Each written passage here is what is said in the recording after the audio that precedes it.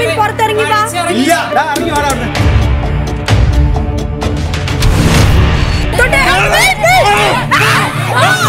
അവൻ എന്റെ ഫേസിൽ അടിച്ചു. ബിഗ് ബോസ് എന്റെ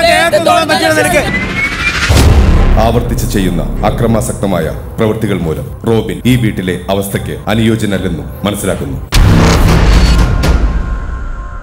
Big Boss Malayalam season four twenty four into seven Disney plus ഹോട്ട്സ്റ്റാറിൽ